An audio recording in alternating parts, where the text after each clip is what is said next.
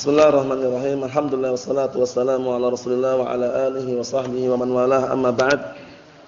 Kita lanjutkan bacaan kita terhadap syarah mandumah Al-Baiquniyah barakallahu fikum. Kita masih berada pada pembahasan yang baru yaitu sambungan syarat-syarat hadis sahih. Naam, awwaluha sahihu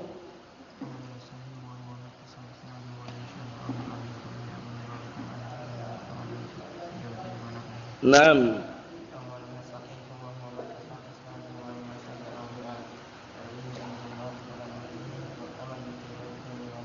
Apa?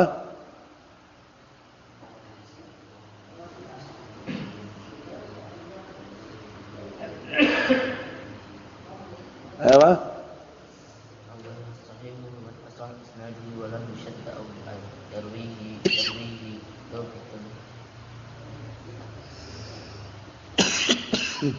Yarwihi adlun.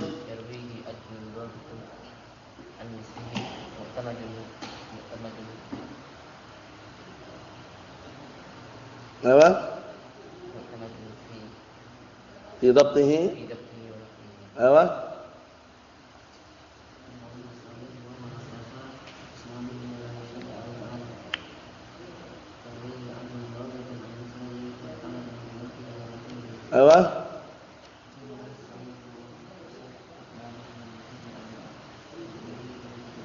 آه.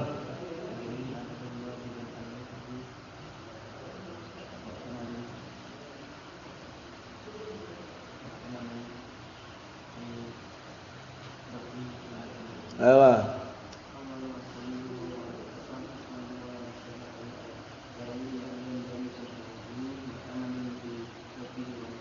أيوه. أولها الصحيح أولها الصحيح.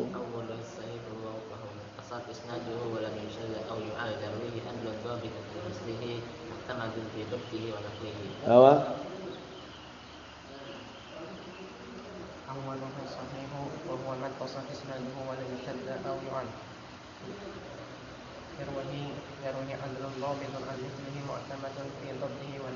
Ewa, ulangi lagi antum.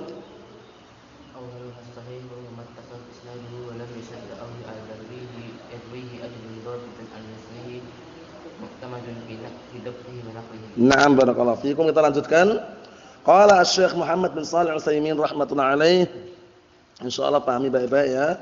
Naam syarat-syarat hadis sahih kata beliau di sini setelah beliau menjelaskan mengenai apa kemarin nam al-adalah itu mustaqimus sirah kata beliau qala Asy-Syaikh Muhammad bin Shalih Al-Utsaimin rahimatullah alaih wa ala hadza maka dan berdasarkan penjelasan ini fal fasiqu laisa bi'adlin. Orang fasik itu berarti orang yang tidak memiliki sifat adalah orang fasik. Li'annahu laisa mustaqiman fid dini karena orang fasik itu enggak lurus agamanya. Falau ra'aina rajulan qati'an lirahimihi falaysa bi'adlin. Kalau seandainya kita melihat ada orang dia apa memutuskan hubungan silaturahminya, berarti dia tidak memiliki sifat adalah. Bayangkan. Walau kana min asnam, walau kana min asdaqin nas fi naqlihi. Walaupun dia termasuk orang apa? Orang yang paling jujur penukilannya. Eh? Orang ini paling jujur penukilannya tapi dia apa? Memutuskan hubungan silaturahmi tanpa sebab misalkan. Nah, itu orangnya tidak memiliki apa? sifat adalah. Li'annahu ghairu mustaqimin fid din karena dia tidak lurus agamanya.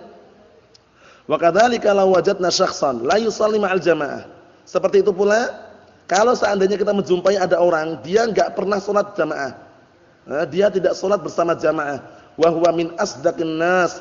Nah, padahal dia termasuk orang yang paling jujur penukilannya, jujur periwayatannya tapi enggak pernah ikut salat jamaah. Fa innahu laysa bi'adlin. Berarti dia apa? Tidak dikatakan apa? memiliki sifat adalah. Fama rawahu la yuqbal minhu. Maka seluruh apa yang dia riwayatkan tidak diterima darinya. Kenapa? Karena tidak memiliki sifat adalah. Lah kok bisa? Karena meninggalkan salat jamaah tanpa sebab itu kan dosa. Ya enggak? Berarti dia kan malah justru apa? Tidak menghindarkan diri dari dosa tersebut. Nah, itu sebabnya. Wa dalilu ala hadza qaulullah ta'ala dalil mengenai hal ini adalah firman Allah taala ya ayyuhalladzina amanu in ja'akum fasiqun binaba'in fatabayyanu antusimu qauman bijahalah. Wahai orang-orang yang beriman, jika datang kepada kalian orang fasik membawa kabar, maka hendaknya kalian bertabayyun, tasabbut, fatasabbatu, mencari kejelasan, mencari kebenaran. Benar enggak kabar yang dibawa oleh orang fasik tadi itu? Paham ya? Yang dikabar yang dia nukilkan itu benar atau tidak? Nah, barakallahu fikum. Kemudian dari mana kabarnya? Paham ya? Karena apa? Karena kalau semua yang dia dengar langsung dia kabarkan, khawatirnya mendapatkan apa? Mendapatkan dosa kafabil mar'i isman an yuhadditsa bi kulli ma sami'. Ya kan? Cukuplah sebuah dosa bagi seorang yang dia mengkisahkan atau menceritakan semua yang dia dengar. Tidak apa tidak disaring dulu. Tapi hendaknya kita memiliki yang yang namanya apa? filter. Filter itu menyaring. Kabarnya benar atau tidak, sahih atau enggak, dari mana sumbernya. Seperti itu. Naam. Apalagi dari orang fasik, orang yang enggak jelas. Cari naam kejelasan terlebih dahulu. Sahih enggak kabarnya ini. Falamma amar naam. Antusibu kaum jahalah. Karena khawatir nanti apa? Nah, kalian justru akan menimpa sekelompok, sekelompok kaum dengan sebab kebodohan. Maksudnya apa? Kalau kabarnya enggak jelas, itu mendolimi orang lain nanti khawatirnya. Paham ya? Kita udah ngomong gini gini gini ternyata orangnya enggak benar misalkan. Paham ya? Jadi kabar itu harus benar-benar diteliti dan dicek. Nah, kecuali kalau sudah datang kabar dari orang sikoh, orang terpercaya, itu enggak perlu mengecek lagi hukum asalnya. Diterima langsung pun enggak masalah. Paham ya? Afan di sana ada kebakaran. Orangnya terpercaya ini. Langsung kita datang ke lokasi langsung datang ke TKP. Apa TKP? Eh, tempat kejadian apa? Karena barakallahu fikum seperti itu. Oh, dapat datang ke lokasi karena orangnya sikoh. Tapi kalau orangnya pembohong, misalnya orang pemabuk, penjudi, orang yang fasik, ngomong di sana ada kebakaran misalkan. Kami mabuk dia posisinya. Antum langsung datangnya atau enggak kira-kira? Lokasinya itu. Ternyata enggak ada kebakaran. Di sana adanya apa? Orang bagi-bagi uang misalkan. Kan lain. Jadi harus dicek dulu itu benar enggak kabarnya orang fasik ini paham ya? Orang sikoh antum enggak perlu sebenarnya. Kalau orang sikoh enggak perlu antum mencari kejelasan lagi walaupun boleh. Walaupun boleh boleh. Cuman aslinya percaya gitu kalau orang sikoh. Naam. Kita lihat di sini, falamma amara Allah taala bitabayyun fi khabaril fasik ulima anna khabarahu ghairu maqbul. Maka tatkala Allah telah merintahkan untuk tabayyun mencari kejelasan mengenai kabarnya orang fasik ulima maka diketahuilah anna khabarahu ghairu makbul. Diketahui bahwasanya kabarnya orang fasik tidak diterima. Paham ya? Nah, kabarnya orang fasik tidak diterima. La yuqbalu wa la yuraddu hatta natabayyan. Kita apa? Kata beliau, enggak diterima dan enggak ditolak juga sampai benar-benar jelas. Jadi kalau orang fasik datang misalkan di sana ada tabrakan, Pak, misalkan. Kita jangan langsung diterima, jangan juga ditolak. Cek dulu, benar enggak di lokasi tersebut. Ternyata benar baru diterima. Bayangkan itu. Tapi kalau orang sikoh terpercaya, kita langsung percaya. Karena dia tidaklah berucap kecuali bisa dikatakan enggak bohonglah dia. Dia enggak dikenal pembohong gitu loh. Nah, paham maksudnya? Nah, perhatikan baik-baik. Paham maksudnya? Nah, barakallahu fiikum seperti itu. Jadi, kalau kabarnya dari orang fasik itu jangan langsung diterima, jangan juga ditolak, dicek dulu. Nah, dicek dulu. Nah, barakallahu fiikum dicek dulu. Nah, kabarnya itu benar atau tidak? Sahih atau enggak? Paham maksudnya ya? Nah, barakallahu fiikum. Tapi kalau yang ngasih kabar orang istiqomah bagaimana? Diterima hukum asalnya walaupun kita boleh juga mengecek gitu loh. Nah, seperti itu. Kita lihat. Wa nahnu nashtaritu fi riwayatil hadis. Dan kami atau kita mensyaratkan di dalam riwayat hadis an yakuna rawi adlan yumkin qabulu khabarihi. Wal fasik la yuqbal khabaruhu. Dan kita mensyaratkan di dalam riwayat hadis sahih, nah, hendaknya perawi tersebut adlan, memiliki sifat apa? adalah mustaqimus sirah, jalan hidupnya lurus. Bihaitsu annahu yajtanib 'anil kaba'ir wa lam yusir 'ala saghair. Dari sisi dia apa? Tidak terus-menerus di atas dosa kecil dan menjauhi dosa-dosa besar, menjauhi dosa-dosa besar. Yumkin qabulul khabari, ya kan? Yang memungkinkan untuk diterima kabarnya. Wal fasik, adapun orang fasik la yuqbalu khabaruhu, enggak diterima kabarnya. Dia terkenal pembohong. Terkenal pemabuk. Ya, terkenal penipu misalkan datang ngomong di sana itu tolong anak dibantu di sana itu ada kebakaran misalkan. Nah, itu cek dulu kabarnya benar atau tidak di lokasi tersebut. Nah, barakallahu fikum karena kalau cuman kabar dari orang yang tidak jelas tadi itu khawatir bohong gitu loh. Nah, seperti itu. Amal adlu fayuqbal khabaruhu. Adapun adl itu orang yang memiliki adalah diterima kabarnya Bidalil qouli ta'ala wa ashidu dawai adlin minkum. Nah, dan jadikanlah saksi orang yang memiliki apa? sifat adalah dari di antara kalian. Maksudnya apa? Maksudnya enggak sembarang orang menjadikan saksi itu. Walam ya'murna bi ishadihim illa dan kita tidaklah diperintahkan untuk apa? menjadikan saksi mereka kecuali linaqbala syahadatahum agar kita menerima apa? persaksian mereka. Aku bersaksi bahwasannya misalkan, tapi dia bohong. Jangan, hati-hati. Naam. It dikarenakan innal amra biqabuli syahadati man la tuqbal syahadatuh la faidata minhu wa huwa laghwun minal qaul. Dikarenakan sesungguhnya nam al-amra itu perintah untuk menerima persaksian orang yang tidak diterima persaksiannya itu enggak ada faedahnya dan bahkan itu merupakan laghwun sia-sia minal qaul ucapan yang sia-sia. Paham belum? Mahfum Husain? Nah, jadi kalau ada orang fasik bawa kabar bagaimana Husain? Diterima langsung enggak? Enggak diterima langsung, enggak ditolak juga tapi dicek. Dicek ulang, benar enggak kabarnya ini? Mahfum. Tapi kalau kabarnya dari orang istiqomah bagaimana? Eh? Hukum asalnya bagaimana? Diterima. Tapi boleh juga kita ngecek sebagai penguat, enggak masalah. Cuman hukum asalnya terima langsung. Nah, seperti itu. Jadi kalau misalkan ada dari kalangan para ulama atau masyayikh misalkan menjarah dengan jarah yang kuat dan dia terpercaya dengan jarah yang tidak apa bisa dikatakan jarahnya akurat, kritikannya akurat, kita boleh menerima walaupun satu orang. Nah, seperti itu. Nah, jangan sampai kita keliru. Amal muruah ini penting, muruah ini. Amal muruah itu adapun muruah itu harga diri, kehormatan. Faqala ahlul ilm fi ta'rifiha, maka ahlul ilm berkata mengenai definisinya, pengertiannya an yaf'ala ma yujammiluhu wa yuzayyinuhu. Seseorang itu mengerjakan atau melakukan perbuatan yang membikin apa? Membikin dia itu nam yujammiluhu yang bisa membikin dia itu indah dan bagus, atau yang membikin dia itu na barakallahu fikum nam bisa dikatakan sama artinya ya, indah dan bagus. Intinya kalau dia berbuat itu orang menilai bagus itu loh. Itu namanya apa namanya? orang itu bisa menjaga muruah. Paham ya? Wa yad'u dan kemudian apa? Wa yad'u ma yudannisuhu wa yushinuhu. Dan orang tersebut meninggalkan perkara yang justru bisa mengotori dia dan juga justru membuat dia jelek. Paham ya? Ini namanya muruah. Jadi muruah itu orang kok bisa menjaga muruah? Muruah itu apa sih muruah itu? Muruah itu semacam kehormatan. Kehormatan atau harga diri. Kalau orang nggak bisa menjaga kehormatannya, menjaga harga dirinya, kan jelek. Contohnya dia sembarangan dia, kencing sembarangan misalkan. Orang nilainya bagaimana? Menilainya? Menilai jelek enggak? Nah, itu berarti dia kurang menjaga muruah maksudnya. Kurang menjaga harga diri, kurang menjaga kehormatannya. Maksudnya ya. Nah, dia misalkan paginya haddatsana fulan, qala haddatsana alan, menyampaikan hadis dia. Tapi malamnya mabuk-mabukan dia, minum khamr. Dan terang-terangan bahkan nah barakallahu fikum sering minum khamr atau yang semisalnya. Ini menunjukkan juga apa? Menunjukkan bahwasannya apa? Bahwasannya dia telah apa telah hilang hilang muruahnya. Nanti akan sebutkan contohnya. Contohnya akan sebutkan nanti barakallahu fikum. Naam. Allah musta'an kita lihat. Jadi intinya muruah itu ahlul ilm telah mendefinisikan telah mendefinisikan tadi ya, an yaf'ala ma yujammiluhu wa yuzayyinuhu wa yada'a ma yudannisuhu wa yushinuhu.